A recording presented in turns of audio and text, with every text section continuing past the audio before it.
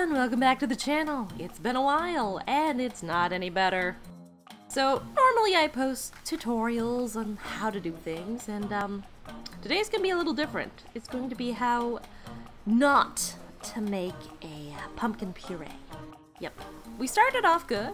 We got a, a local pumpkin from a local farmer. We cut her up. We scooped out all those seeds so we could make roasted pumpkin seeds.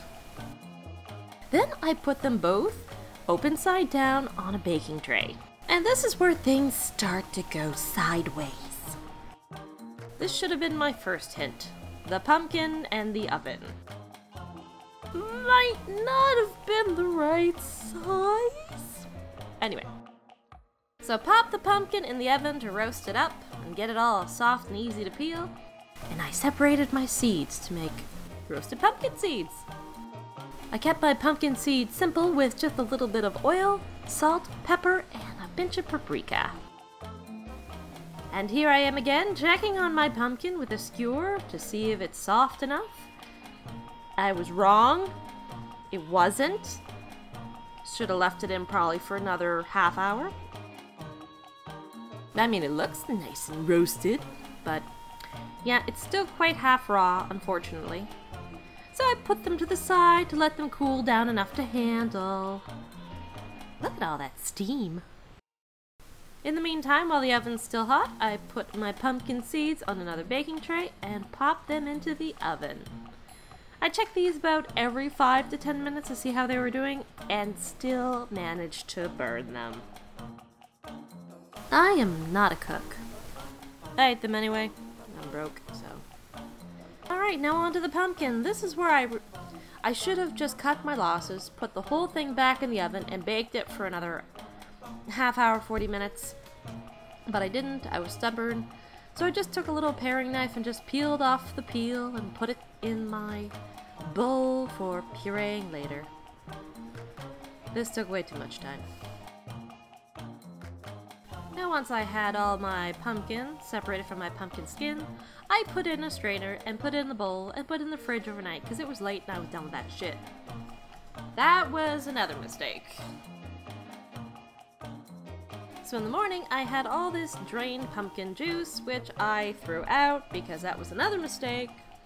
Because when I went to blend my roasted pumpkin, it was too dry and wouldn't blend, so I had to add water. But I'm using an old blender, and after I got all of this done, I realized I have a bullet blender I should have used. But hey, whatever, I guess. And it's about this time I'm realizing that, yes, it is not cooked enough. So once I gave up on the blender, I put it all back on the pot and put it on the stove. And cooked it down again. This time I used the potato masher. Mashy smashy, get out the frustrations from doing this a long way because we're stubborn. Then I put the now actually cooked pumpkin back in the blender, poked it around until it actually pureed. And we continued on from there. Now because my pumpkin batter was full of water from where I added water to blend it when it wasn't fully cooked, I thought, well, I need to strain this. So I had some cheesecloth and I was scooping it into the cheesecloth and squeezing out the water. Because it was really wet. I thought this was what I was supposed to do and sometimes you just give up after a while and you just sit there and you're like, I'm just gonna play with the food. That's really all there is to it. So that's what I did.